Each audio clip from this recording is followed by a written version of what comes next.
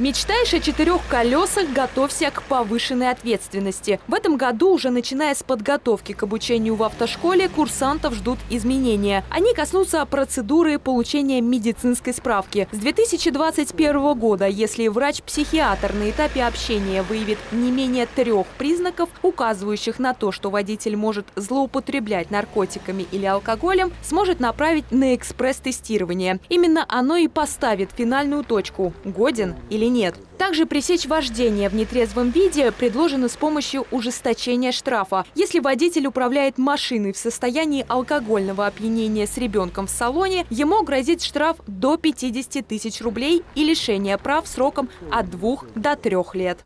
Нужно вообще ужесточать, я считаю, законодательство э, в отношении нетрезвых водителей. Это очень опасно для окружающих. Э, еще строже, побольше людей сажать.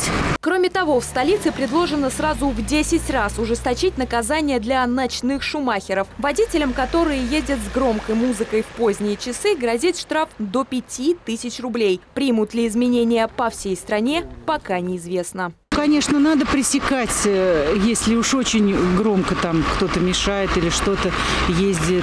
Но если не очень громко, то я считаю, можно обойтись какими-то... Если бы милиции дали это, так сказать, возможность регулировать это положение, я думаю, так правильнее было бы. У нас народ получает не больше 20 тысяч зарплаты, поэтому 10 тысяч штраф для нашего Ульяновска, для бедного города, я думаю, это много, дорого для нас. Придется раскошелиться из-за получения полиса ОСАГО. А с 9 января текущего года вступает в силу изменения в систему расчета. Для легковых автомобилей физических лиц тарифный коридор расширен на 10% в обе стороны и теперь находится в диапазоне от 2 до 6 тысяч рублей. Для автобусов и троллейбусов расширение составило почти 5%, а для такси сразу 30%. Это от 2 до 13 тысяч. Ну, я думаю, что это не стоит делать.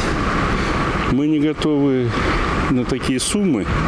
Вот, если тем более машины там э, до 100 лошадиных сил, вообще нужно освобождать. Плюс э, наши дороги способствуют совершению ДТП. Вот, должны быть лучше. Уже к лету этого года штрафы водителям будут выписывать пешеходы. Президент России Владимир Путин своим указом дал новую жизнь федеральному приложению для фиксации нарушений ПДД обычным гражданам. Теперь фотография от обычного прохожего может обернуться для автовладельца штрафом. Предполагается, что уже с июня этого года заработает народный инспектор, приложение, в котором можно будет фиксировать нарушения, к примеру, такие как стоянка и парковка в запрещенном месте.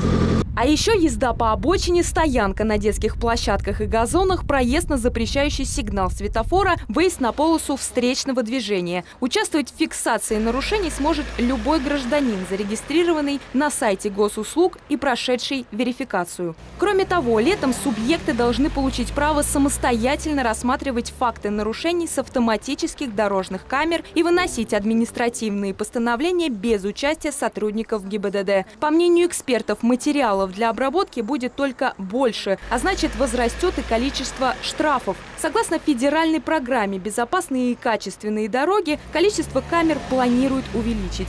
А перспектива запуска народного инспектора удвоит поток нарушений, которые станут фиксировать граждане. А если у вас все же остались неоплаченные штрафы, к концу года судебные приставы спишут долг автоматически. Такой законопроект уже подписан президентом и вступил в силу в конце декабря 2021 года. Александра Никитина, Александр Кудряшов, Улправда ТВ.